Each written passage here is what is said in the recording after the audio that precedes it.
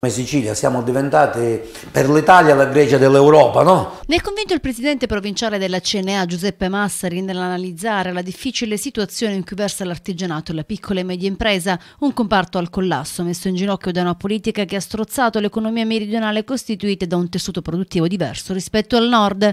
Stamane ad eventi quotidiani Giuseppe Massari ha parlato delle cose da fare e detto che la ricetta per uscire dalla crisi è l'internazionalizzazione, unico strumento appunto per uscire dalla dalla crisi. Per fare ciò è necessario aggregarsi, fare rete e ricapitalizzare la propria impresa. Noi stiamo lavorando e lo diremo perché dobbiamo prepararci per uscire fuori. Noi ormai non riusciamo più a garantire, esatto, non riusciamo più a garantire le imprese nostra, nel nostro sì. territorio. Allora stiamo preparando dei bandi, ma lo diciamo da anni.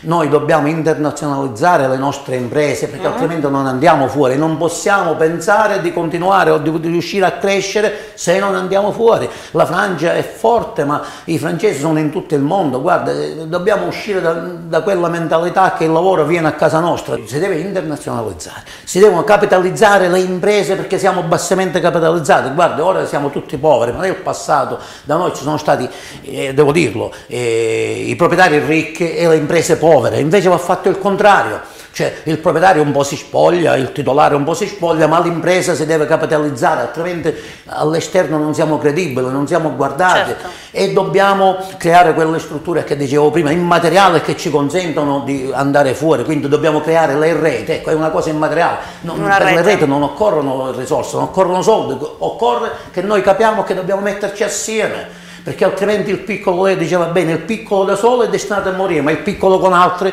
può diventare grande, può diventare grande perché poi ha varie professionalità, varie risorse, quindi guai a dire l'artigianato non è più valido, la piccola impresa non è valida, la piccola impresa è ancora valida, l'artigianato è valido perché ha un grande know-how, se si mette assieme, se costituisce reti, se, se costituisce associazioni, società che possano competere con l'estero.